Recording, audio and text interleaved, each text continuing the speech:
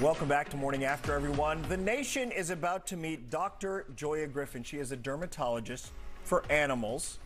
And the stuff she sees, Jenny, let's take a look. Buttercup.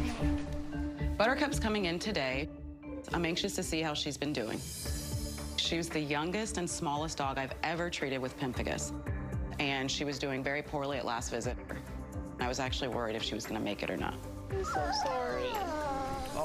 Dr. Joya Griffin joining us from Los Angeles this morning with more on the upcoming show. Congratulations, launching January 1st on Nat Geo Wild. People can stream it on Disney as well. What was the experience like for you to let the world into what you do every day?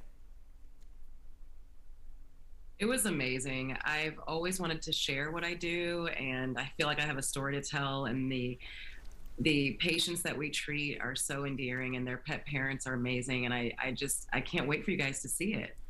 So I'm curious how you found this profession. How you, you know, as a little girl, were you really intrigued by these sort of skin issues in animals, or how did this come about? Yeah, I actually, as a child, I mean, I knew I wanted to be a veterinarian, but I did not know that a veterinary dermatologist existed, as many of much of the world does not know, and hopefully now will know.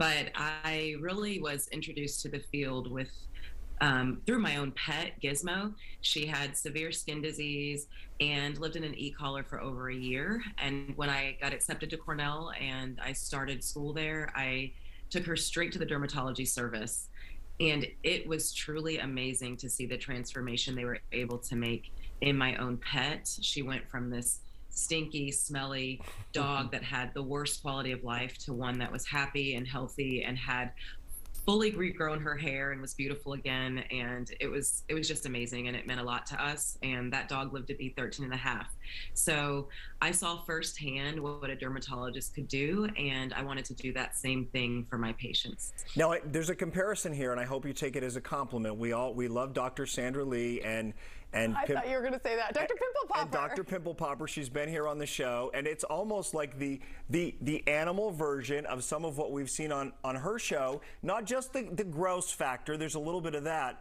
But also the transformation. We see it yeah. in her human patients that they regain a sense of themselves and a sense of health. And and I'm seeing it in that video with that with that small dog that you helped restore. I'm seeing there's almost that same sense of I'm back and my life is good.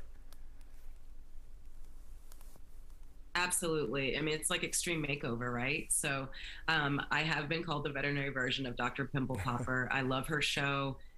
It's extremely disgusting. Um, my show is is somewhat like that. Not not all of it, you know, but I want to say it is also very family friendly. My four year old twins love it, and uh, they've watched the uh, sneak peek that came out um, on Thanksgiving. They've watched that on repeat. So yeah, what are the twins? they can handle think? it. I think most viewers can. What do the twins think of, yeah, what do the twins think of this, of, of, mom, you know, having this profession with animals and now, you know, being on a TV? TV star. Yeah.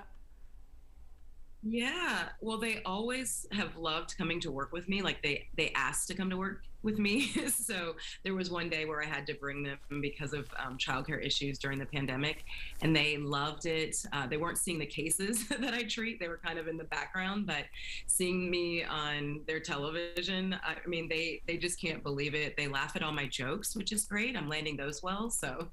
well, we are very excited that we can now go to work with you. Not just your children. We can go to work with you because it looks like what you've created there is a work environment of camaraderie of love and compassion and caring for these animals. So, congratulations, Dr. Joya. It is Pop Goes the Vet with Dr. Joya. It premieres on January 1st, 9 p.m. Central on Nat Geo, and you can stream it on Disney Plus as well.